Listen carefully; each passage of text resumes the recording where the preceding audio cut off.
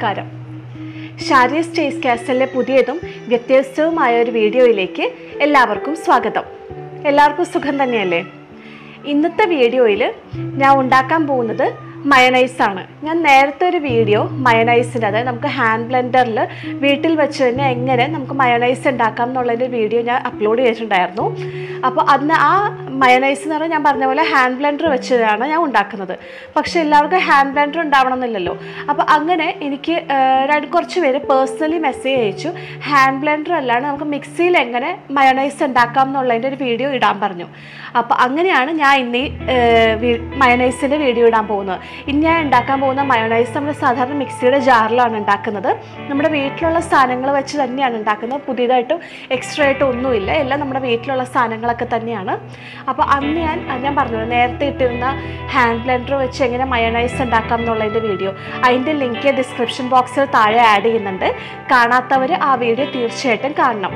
അപ്പോൾ പിന്നെ അതുപോലെ തന്നെ എന്റെ ബാക്കിയുള്ള വീഡിയോസൊക്കെ കാണാനും മീൻസ് എന്റെ വീഡിയോസ് ഒന്ന് മിസ് ചെയ്യാതിരിക്കാനൊക്കെ ആയിട്ട് എന്റെ ചാനൽ ഷാരീസ് ചേസ് കാസൽ എല്ലാവരും സബ്സ്ക്രൈബ് ചെയ്യണം. അപ്പോൾ നമുക്ക് കൂടുതൽ സമയം കളയാണ്ട് വീഡിയോയിലേക്ക് കടന്നാലോ? അപ്പോൾ നമുക്ക് മയണൈസ് ഉണ്ടാക്കി തുടങ്ങാം. മയണൈസ് ഉണ്ടാക്കാനായിട്ട് ഞാനിവിടെ കൃത്യ അളവിൽ അതായത് ഒരു കപ്പ് ഓയിലും ഒരു കപ്പ് പാലും എടുത്തു വെച്ചിട്ടുണ്ട്. ഇവിടെ മെഷർമെന്റ് ഉള്ള ഒരു ഗ്ലാസ് ഇത് പഴയതാണ്. ഞാനിപ്പോൾ ഗ്ലാസ് എടുത്തിട്ടുണ്ട്. അപ്പം ഇതിൽ ഞാൻ കൃത്യമായിട്ട് നൂറ്റമ്പത് എം എൽ ആണ് ഓയിൽ എടുത്തു വെച്ചിരിക്കുന്നത്. ഇതിപ്പോൾ വെജിറ്റബിൾ ഓയിലാണ് പിന്നെ അതുപോലെ അത് കൃത്യ അളവിൽ തന്നെ ഞാൻ പാലും എടുത്തു വെച്ചിട്ടുണ്ട്.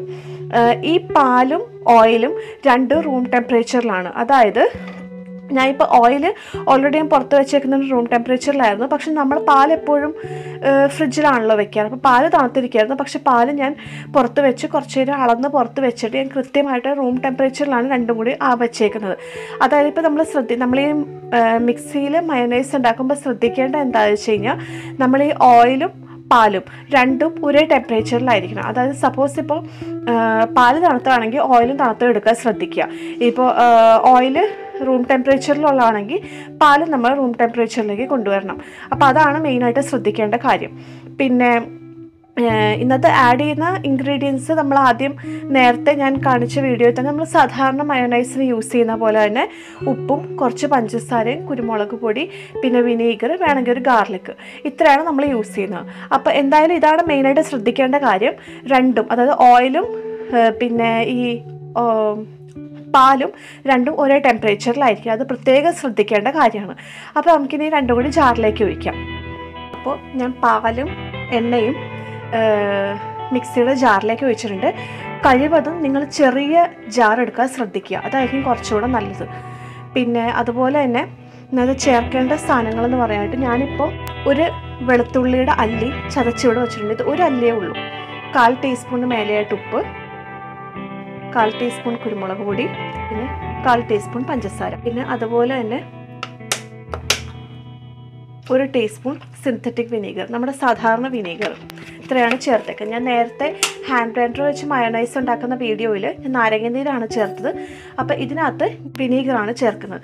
പിന്നെ അതുപോലെ തന്നെ ഇത് ശ്രദ്ധിക്കേണ്ടതെന്ന് വെച്ചാൽ മെയിൻ ഞാൻ പറഞ്ഞല്ലോ ശ്രദ്ധിക്കേണ്ട കാര്യങ്ങൾ ഒന്ന് നമ്മുടെ പാലും ഓയിലും റൂം ടെമ്പറേച്ചറിലായിരിക്കും ഇല്ലെങ്കിൽ അത് ഇപ്പോൾ പാൽ തണുത്തതാണെങ്കിൽ അതേ ടെമ്പറേച്ചറിൽ തന്നെ ഓയിലും ആയിരിക്കണം. ഇല്ലെങ്കിൽ ഇപ്പോൾ വൈസ് വേഴ്സ എങ്ങനെയാ വെച്ചാൽ രണ്ടും ഒരേ ടെമ്പറേച്ചറിലായിരിക്കണം ഒരെണ്ണം തണുത്തത് ഒരെണ്ണം റൂം ടെമ്പറേച്ചറിൽ അങ്ങനെ ആവരുത്. അങ്ങനെയായി നമുക്ക് മയണൈസ് ആവില്ല.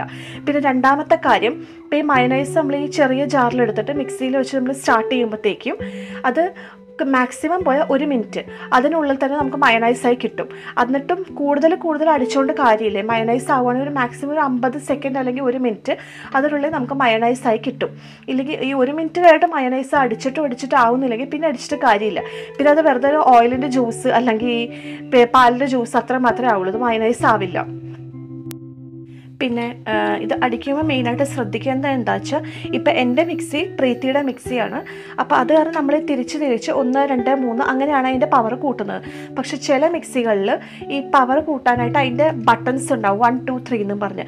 അങ്ങനെ ബട്ടൺ ഉള്ളതാണെങ്കിൽ നേരിട്ട് നിങ്ങൾ ബട്ടൺ മൂന്നിലേക്ക് തന്നെ ഇട്ട് ഹൈ സ്പീഡിൽ തന്നെ അങ്ങ് അടിച്ചെടുക്കാൻ ശ്രദ്ധിക്കുക. ഇനിയിപ്പോൾ ബട്ടൺ അല്ല തിരിക്കുന്ന ഇതാണെങ്കിൽ നേരിട്ട് അതായത് ഓൺ ചെയ്ത ഉടനെ നേരിട്ട് വേഗം വേഗം തന്നെ തിരിച്ച് തിരിച്ചത് ത്രീ പവർ ഹൈ സ്പീഡായ ത്രീയിലേക്ക് മാറ്റാൻ ശ്രദ്ധിക്കുക. എന്നിട്ട് വേഗം അമ്പത് സെക്കൻഡ് അല്ലെങ്കിൽ ഒരു മിനിറ്റ് അടിക്കുക. ഓക്കെ അപ്പോൾ എന്തായാലും നമുക്ക് മയണൈസ് ഉണ്ടാക്കി തുടങ്ങാം.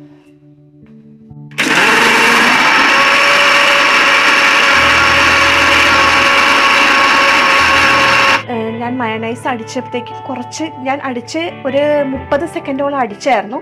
അടിച്ചു കഴിഞ്ഞിട്ട് ഞാൻ ഒന്ന് നിർത്തി. അതായത് സ്പീഡിൽ തന്നെ തിരിച്ച് മുപ്പത് സെക്കൻഡോളം അടിച്ച് അതേപോലെ സ്പീഡിൽ ഞാൻ ഓഫ് ചെയ്തായിരുന്നു.